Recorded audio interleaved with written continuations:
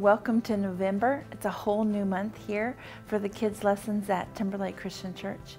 We are going to take the opportunity to spend the month um, thinking about what we have to be thankful for, what God has given us, and how we can use the gifts that He's given us to bring glory to God.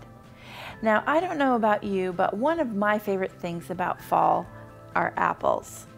And I love the way they taste, the way they smell. And um, I don't know if you like apples. Um, I like my apples with a little bit of cheese, but maybe you're someone who likes their apples in apple cider, or uh, you like them with a little bit of caramel, or you put them in an apple pie, or maybe you cook them down and make apple butter and put them on a hot biscuit. However, you choose to use this gift that God has given you, it's a good thing. An amazing thing about apples and many other good things that God gives us to eat is inside there are seeds.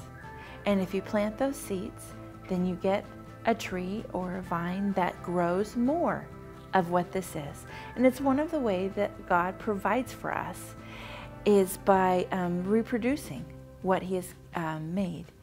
And so it's, it reminds us that every single thing that God has created has a purpose. Whether it's an apple or a teeny tiny insect, it's all part of God's plan and God has a purpose for its existence. And that reminds us that just like an apple, God has a plan for our existence. And He has a purpose. And He has designed that purpose way before we were born.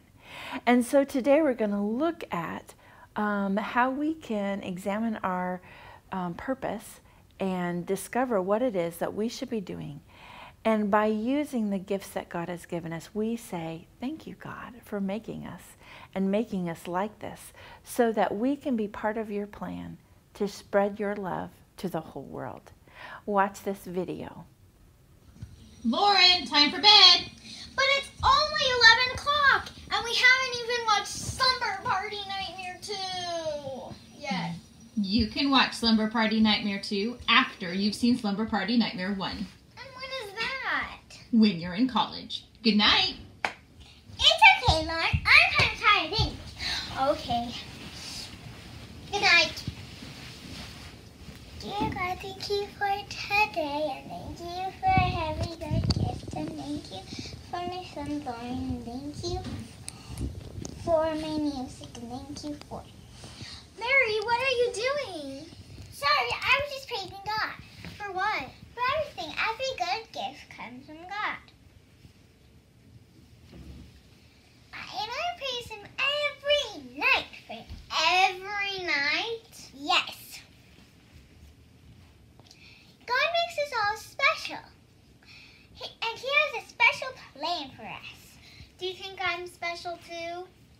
Of course, Lauren. You're one of the best artists I know. Then I should praise Him too.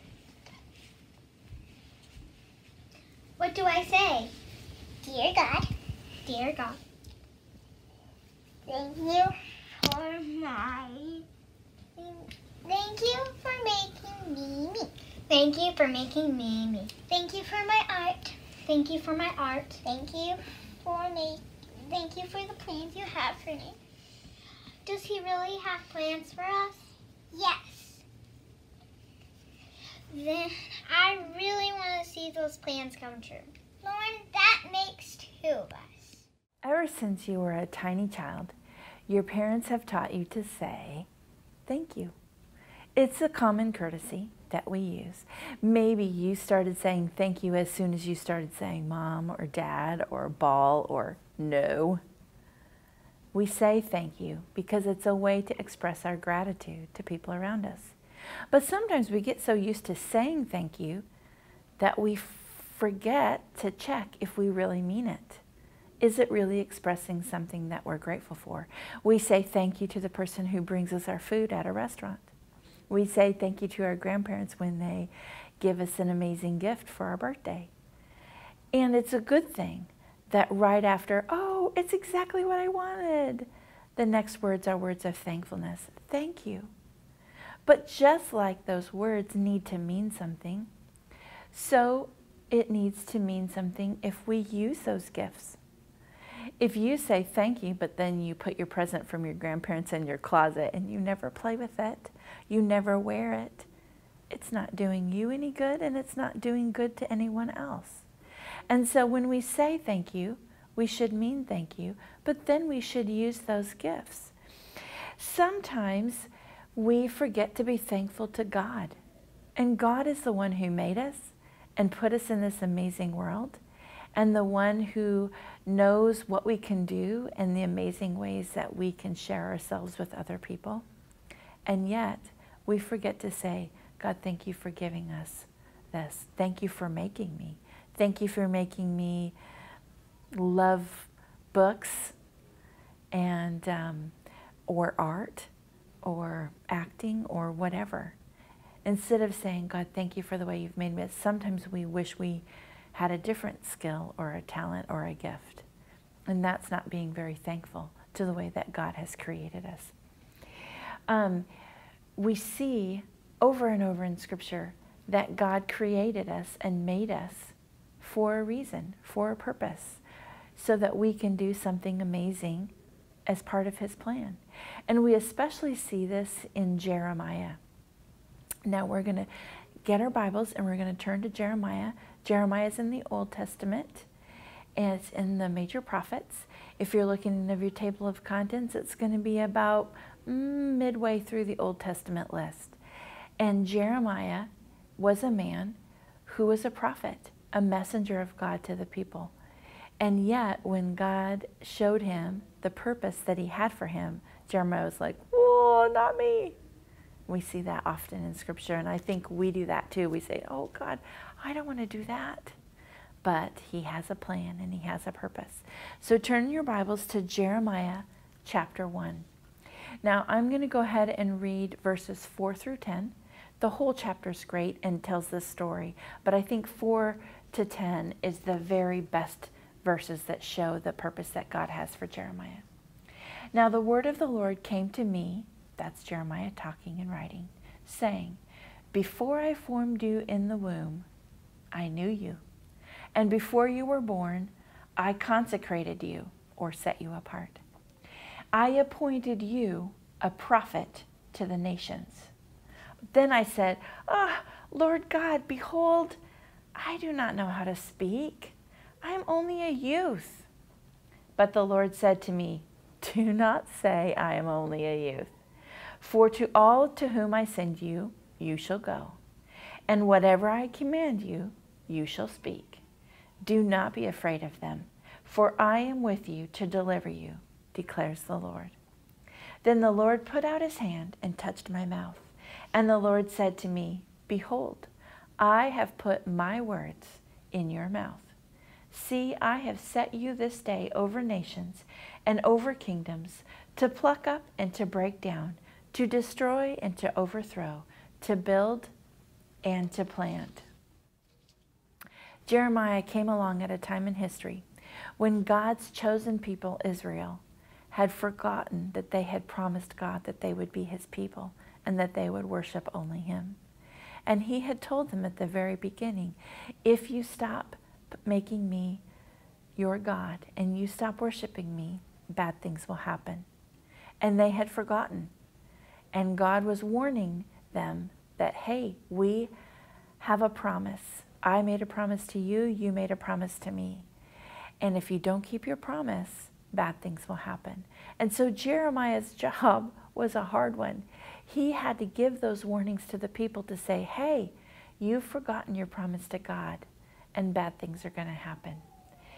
And yet, God gave him the strength and reminded him that he was always with Jeremiah when Jeremiah was giving those hard warnings and messages to the people.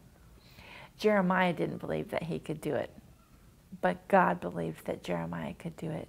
And God said, Hey, before you were even born, I knew that this was the job that you would do and that you would do it because you love me and you obey me. And Jeremiah ended up being one of the prophets that we hear most about, we read most about in Scripture. And it was because he accepted the challenge the purpose that God had created for him. God made each of us uh, for a special purpose. We probably won't all be prophets like Jeremiah. Maybe we will give warnings to people that they need to turn back and obey God. But maybe our special purpose is to love other people or to teach or to create or to write or to act or to sing. We don't know what the purpose is, but God has made it for us. Watch this video from YouTube that recaps our verses from Jeremiah. Hey kids, have you ever made a promise to someone? Like, you promised your friend that you would play with them at recess? Or maybe you promised your sibling that they could choose the next TV show? Well, in today's lesson, we're going to learn about a time when the Israelites broke a promise to God. Jeremiah was a prophet that warned people not to break their promises. God had chosen this job for Jeremiah way before he was even born. And Jeremiah was a prophet during the time when people had broken a promise to God. They promised to only worship him, but then they started to worship the fake gods. So Jeremiah warned them that if they kept doing that, God would punish them. He would send a big army to take over their land. The people broke their promises and ended up paying for it. Well, the people kept worshiping the false gods, and everything Jeremiah warned about became true. An army from Babylon destroyed Israel and took the people captive.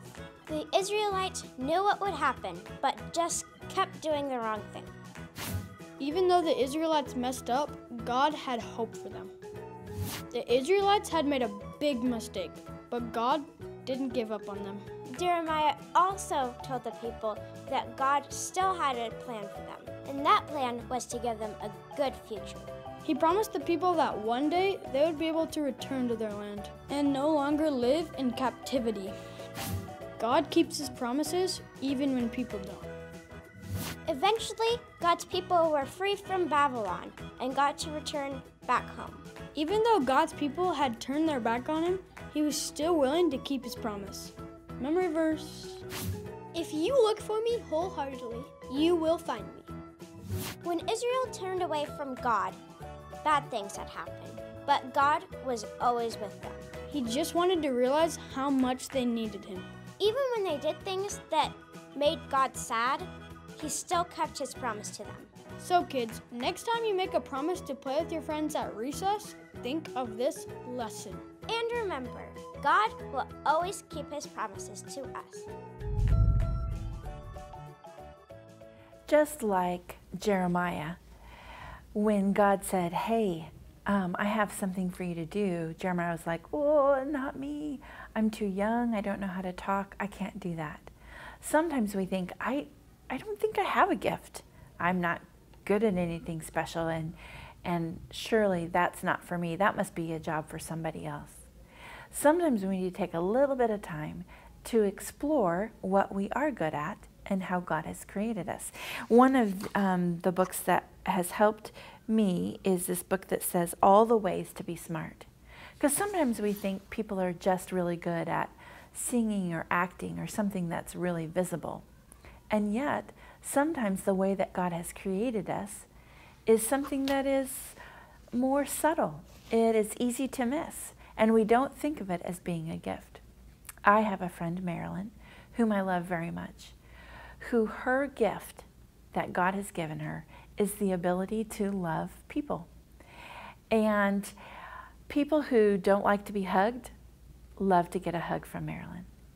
And God is currently using her gift at loving people, at talking to people, at showing God's love to people in another country where she is doing what God has created her to do.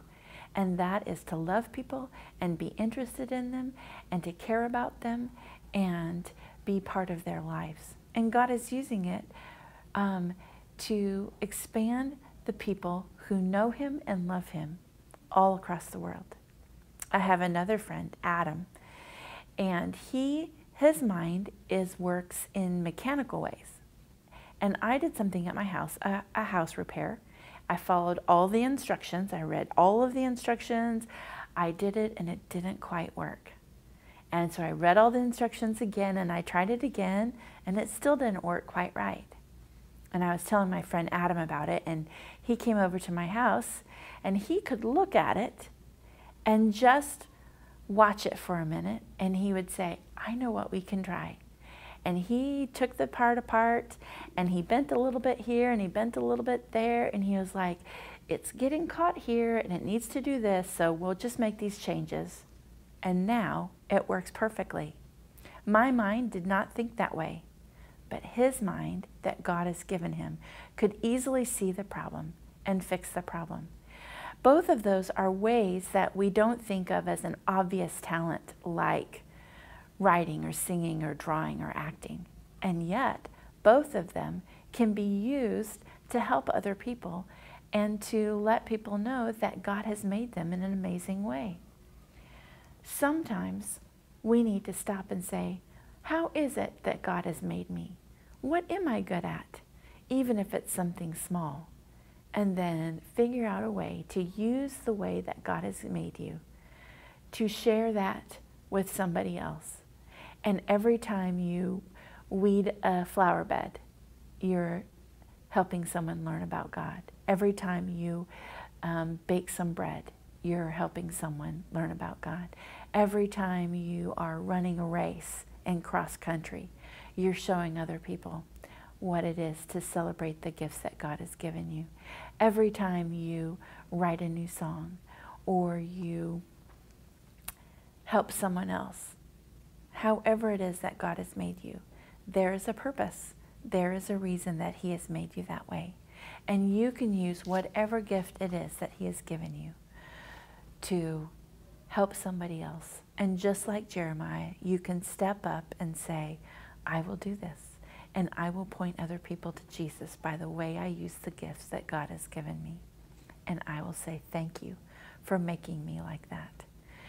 Let's see how well you listened, and not just to our um, story, but to our verses, and see how well you do at these review questions.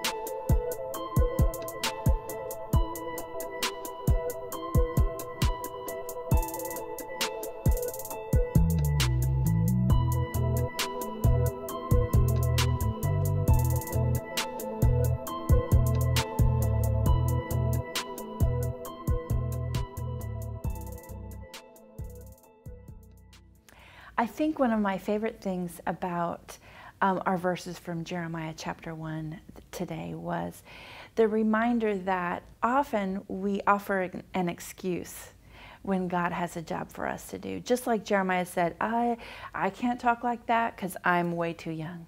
And God was like, don't be giving me that excuse. Sometimes we think, well, when I grow up, I'll do this or I'll do that. Or when I get better at this gift, then I'll use it for God.